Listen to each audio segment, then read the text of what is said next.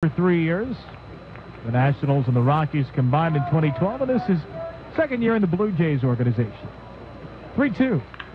Swinging a high fly ball, well ahead to right. Schimpf is back at the wall, and goodbye. Emmanuel Burriss, his second Syracuse home run, first here at NBT Bank Stadium. And it's a 6-0 Syracuse lead, the score in the seventh.